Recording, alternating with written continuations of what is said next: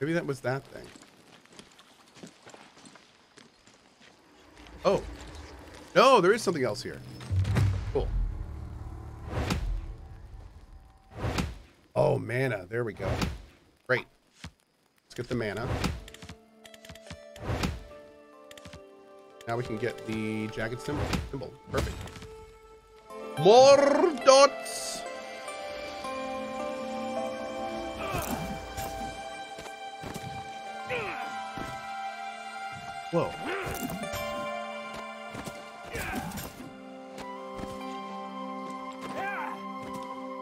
Any reason to be up here? Not really. Maybe something can spawn up here. Huh. Okay.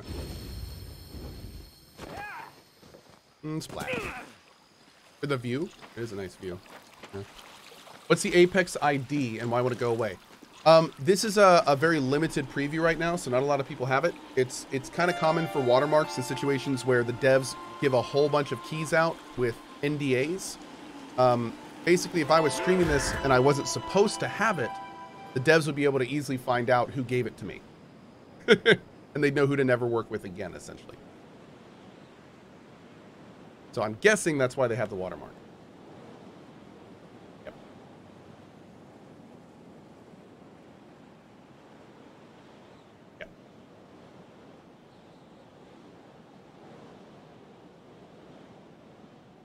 I'm guessing they have some kind of code to work out that giant string of letters there and numbers into the name of my Apex ID, which you need to log into the game with. So. Mm-hmm. Mm-hmm. Mm-hmm.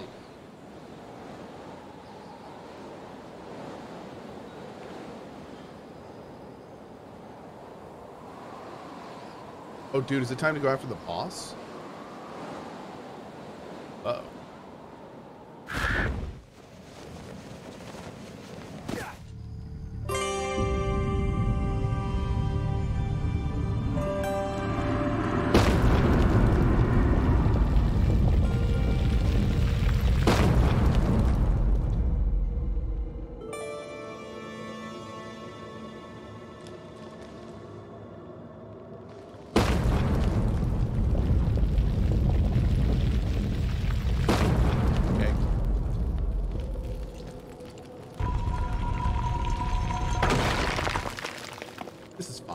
Makes me want to play Outwards so bad. hey, Drakmalone, what's up, buddy?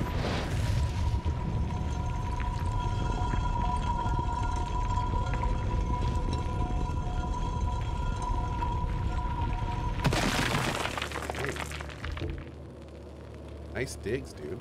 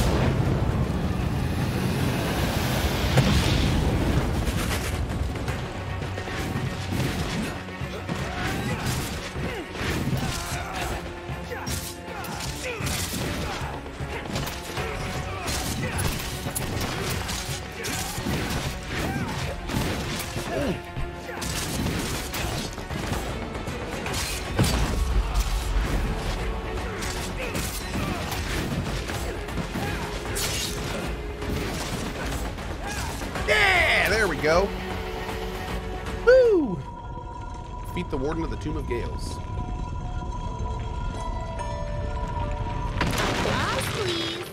How's it going, Holy Hotshot? I'm doing well, man. How are you?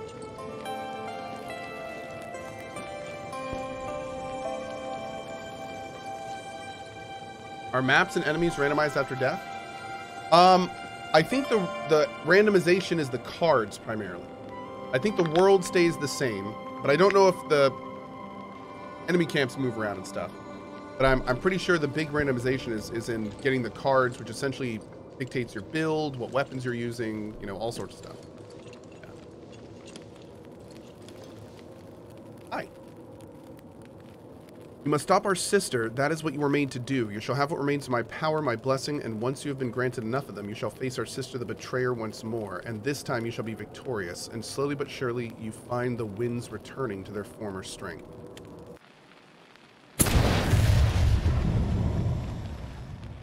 I need some good voice acting for these guys. Blessing received. Okay. Uh, now, real quick, I can play up to the second boss. But I don't know if I can actually fight the second boss. I think I saw a couple people in here from uh, from Avalanche. Do you happen to know by any chance? Doesn't say including. I don't think we can. Up to does not include. Okay, let's let's play it safe, and I guess we will not yeah, I think the wardens are the bosses. So I think we I think we just did the first boss.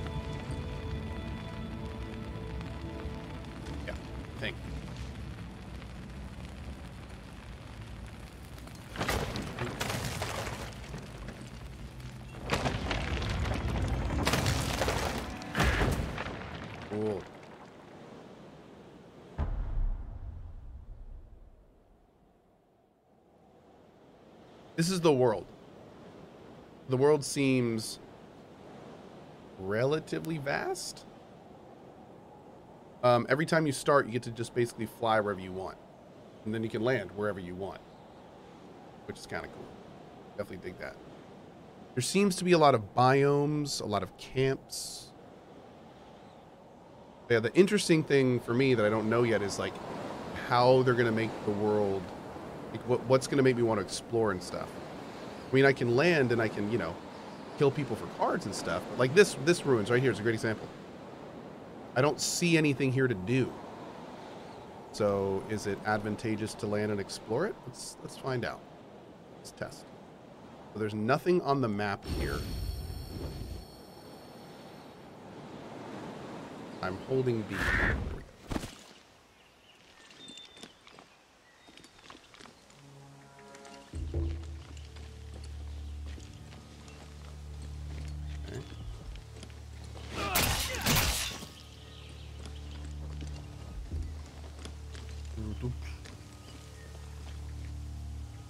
Yeah, another big, a big uh, plus for this game is it's only going to be 30 bucks. So if it's cool and if this world is worth exploring and, you know, leads to there being a lot to do in it, that is definitely the, the right price.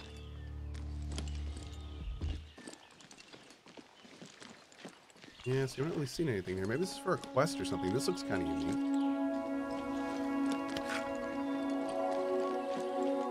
You can also go up. Got a grappling hook. But I'm not really seeing a lot of places to do that here. I play Forspoken? I was not super impressed with the Forspoken demo.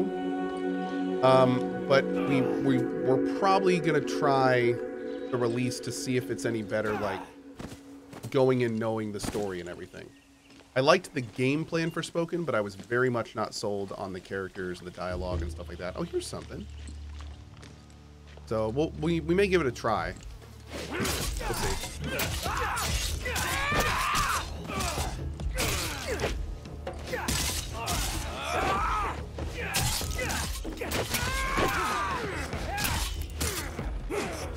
I think they asked me to take a sponsored look at it again, so, you know, I think I'm curious enough to do that.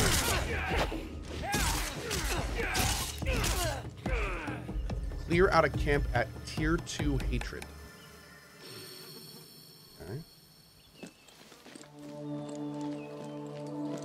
I don't think this was on our map, was it? Hmm.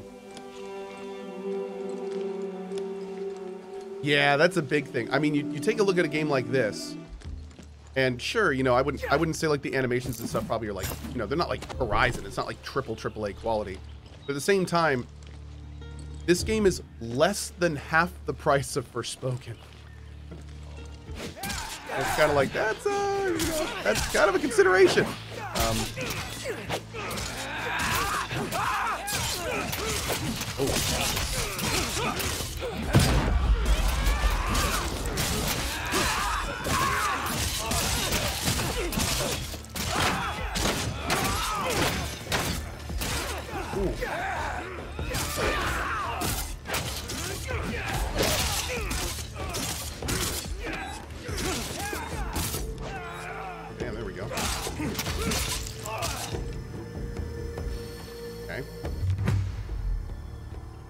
can't wait for Cohh to play Darker and Darker again. Oh, me too, dude. Tax. We'll probably do this one.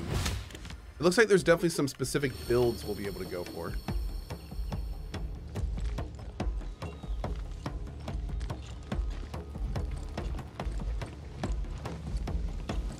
Also, dig the music when it picks up.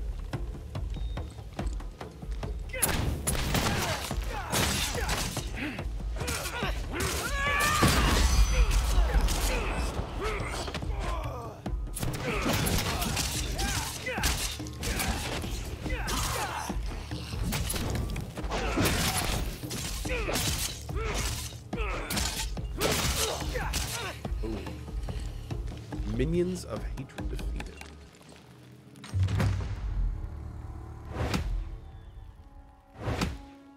You look like the dwarf in Game of Thrones. That's weird. I haven't heard that before. Uh, unlock one relic slot. Let's do that. Boom. Very nice. Okay. Am I slaughtering teddy bears again? I am.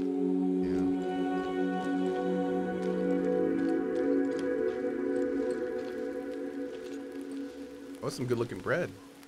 I'm kind of a bread guy. Mmm. Mmm. Looking bread. Take a look up here. Sure.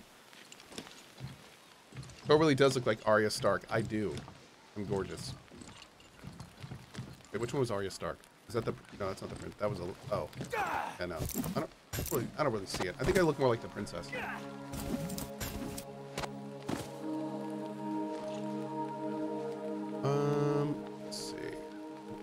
Let's head towards the mark over here. I'm the prettiest princess. I am. I actually, I, I got more of a Brienne of Tarth going thing. I think. What is this icon? Those vampires? I don't think we fought these before. Let's see what these are.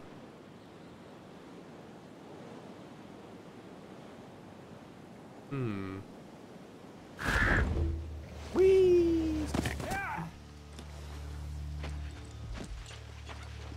Oh my god, they're little. Oh, look at you go! Damn!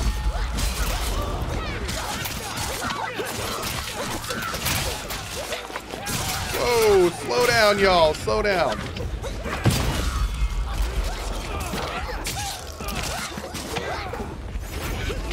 Ow.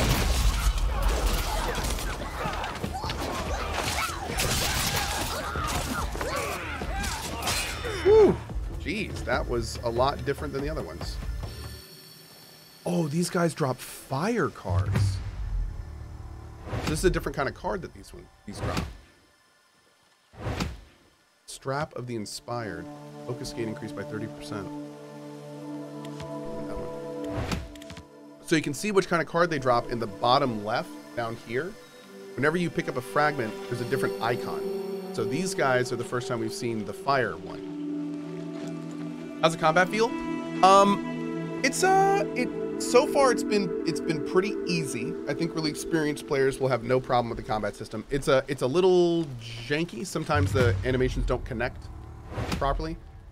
Um, but the you know the fun factor is it's it's pretty fun so far. I'm I'm enjoying it. They give you a lot of options. You can you can dodge, you can perfect dodge, you can block, you can perfect block. They seem pretty forgiving. Um, little little floaty, but relatively responsive. I, for me, there's always like a there's always like a there's there's two main levels for a combat system, and that's how floaty it is and how responsive it is. And as long as both of those are high, um, it's okay. But if it's not a responsive system, then you need floatiness to be super super low. Um, so far, this one is a little floaty, but it's also pretty responsive, so it's okay.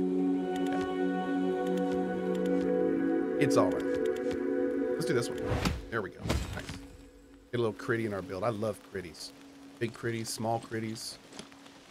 I just like critties. Big critty guy. Let's see. Is that a thing over there? It is. Check that out. Can you explain what you mean by floaty? Um, floaty is when your character, a good way to think about it is when your character kind of like, it feels like they have rollerblades or ice skates on.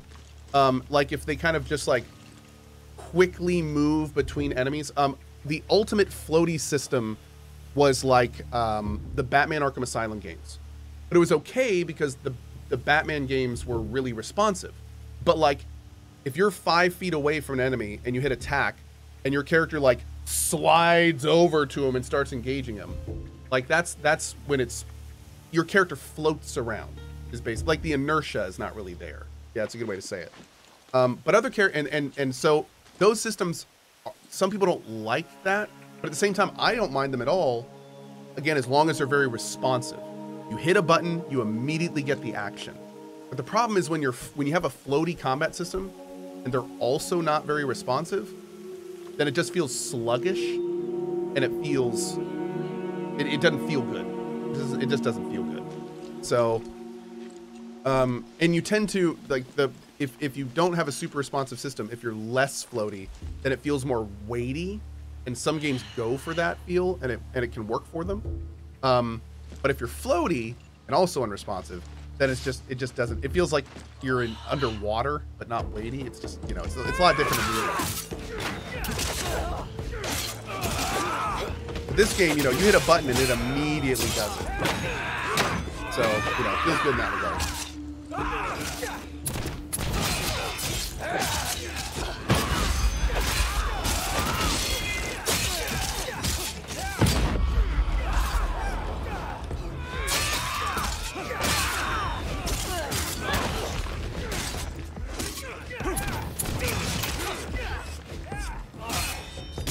Got a crit there.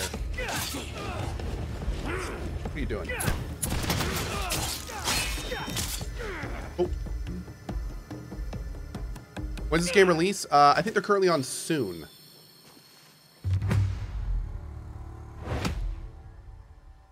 So Chocolate says floaty into animation acceleration and responsiveness into input latency. Uh, yeah, those are all terms that you can you can add into that discussion. Absolutely, Th those floaty and responsiveness are very top level terms for all that kind of stuff for sure. Uh, we already have both of these, so I guess we'll take one of these and just break it down. Yeah. Now I wonder if we can stack these. So can I can I have two of these to have 40% crit rate?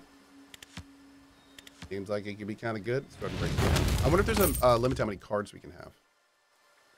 Hmm.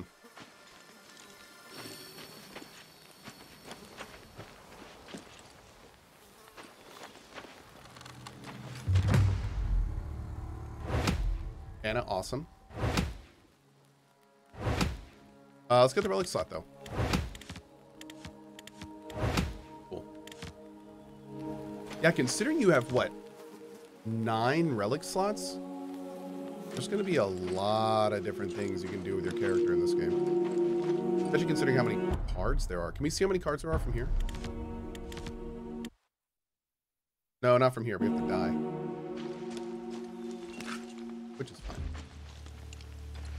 When's the release? Soon, TM. Is Cohh getting special access to this? Yes, that's why you have the watermark on the screen. The devs were uh, were very cool and gave me a, an early look at the game.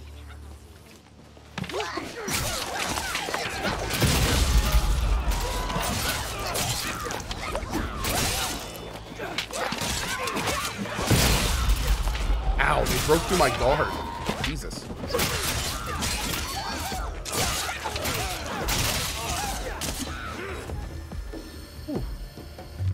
Guys feel a lot different than fighting the other enemies. There's an armor upgrade. Uh, wow. That adds like eight armor. And increases health. We gotta get the mana for that.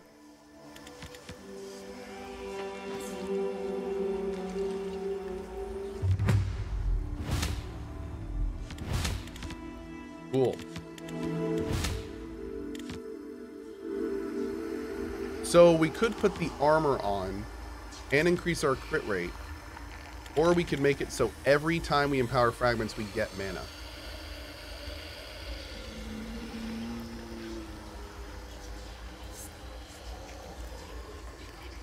Hmm. I'm gonna go with this one. What is this that we have? Oh, it's more armor. Hmm. Okay, we'll see how this works out. What is empowering? If you look in the bottom right, bottom left, excuse me, I, I know basic directions. Um, if you look in the bottom left of the screen, there those three little things right there. When you get three of them, you empower them, and that's when you get to draw some cards. The card selections depend on what you pick up. So there's like blue shards, there's this shard right here, right there.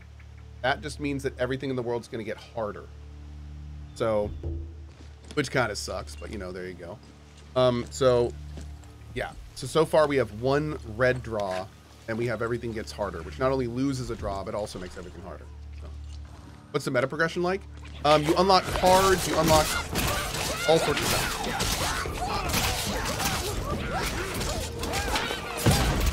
You unlock weapons, armor. So see, here's two pulls right here. So we'll pick one of them up. Draw. We get a mana, which is cool. Oh, that sucked. Alright, so we can take that, but we can break it down. Um, we got a mana, so we can use this armor upgrade. Nice. Oh wow, we looked different too. Pick up the new one. Oh, what is that? Now we have a lock on the bottom left? I don't even know what that means. Oh no, and we just... Oh, when you absorb these, you also get a... Jesus. Okay. Take the mana, I guess. Alright, so what's going to happen now?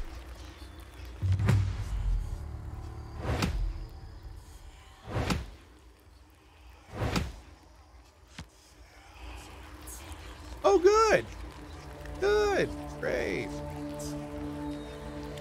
Everything's just getting harder. Oh, God, it's locked. Oh, it's locked because we, we filled in one of those red things down here. So if you see there's, there's like this red bar across the bottom, right there. And we filled in one of them. So now we just have to deal with that every time we pull. So this mechanic is in so you can't just go around and make yourself insanely strong before you fight the bosses. So it, it's it's to keep you moving forward through the game. So if I if I were to just go keep farming now, then I would get like the world would become stupid difficult. Oh god, what are these?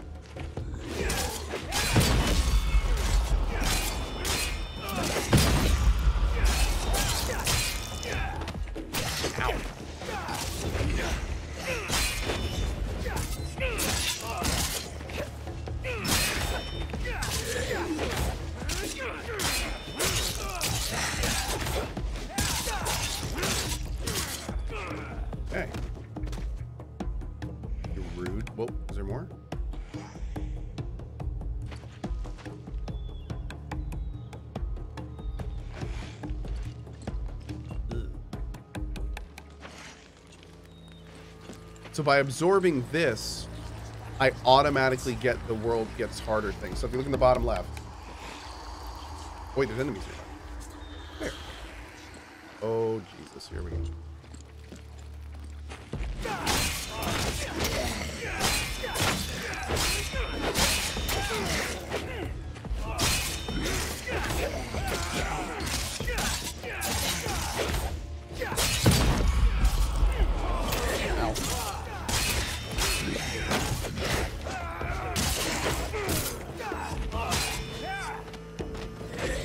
Oh, these are purple shards. These are different. You're out a very hard camp. Okay. Yeah, these are uh, are purple ones. You're out a very hard can't without using your search. So these are challenges I'm unlocking, which means that the next time we play, we'll get different cards.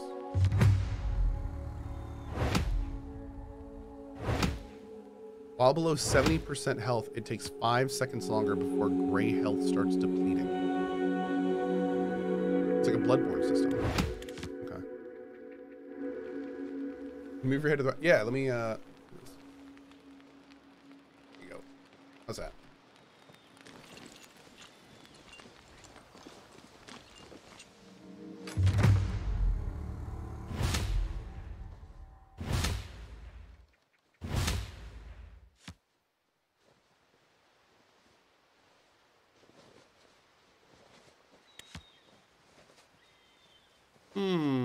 See, the thing about this card is it's original base damage. So is that's that's not a relic. If we just use it, yeah, it doesn't count as a relic slot. Okay, that's kind of cool. Is that a relic? That's a relic. Okay. Do a quick test.